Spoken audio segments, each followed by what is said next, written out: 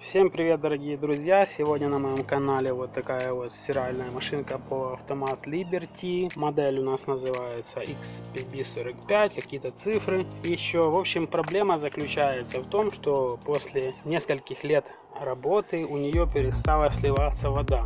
Как можете видеть, мы сейчас вот залили полный бак воды, но водичка у нас не сливается. Итак, я сейчас расскажу, в чем заключалась проблема и что нужно сделать при ремонте самостоятельном для того, чтобы ваша машинка работала дальше. В принципе, они все однотипные, могут называться как Scarlett, Liberty и другие бренды. Данная машинка проработала около 5 лет, но перестала сливать воду, как я уже сказал. Итак, поехали.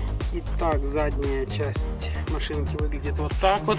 У нас находится здесь вот такой вот лючок. И всего лишь на трех саморезиках крепится данная задняя крышка. Мы ее снимаем. Снимается она очень просто, даже одной рукой. И здесь мы видим вот такие вот приспособления. Итак, что нужно сделать?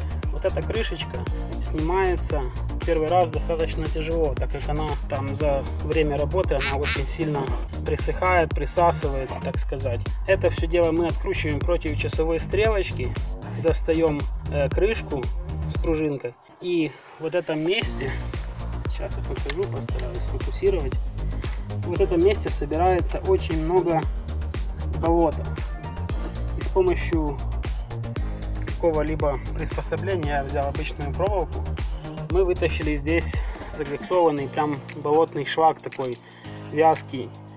После чего мы плотненько закручиваем данный клапан, так сказать, и включаем машинку на слив несколько раз, для того, чтобы ушел воздух и, соответственно, пошел слив.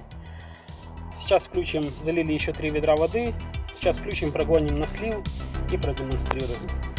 Включаем машиночку, машинку на сливе. Сейчас на меня побежит вода. Включаем слив. И как можете видеть, водичка у нас пошла очень хорошо. Сейчас вот эти три ведра воды уйдут, прочистится шланг, канал. И в принципе машинка у нас далее находится в работоспособном состоянии. Итак, ребятки, всем спасибо за внимание. Кому было видео полезно, ставьте лайк. И до следующих видео. Пока-пока. Надеюсь, это видео будет полезно.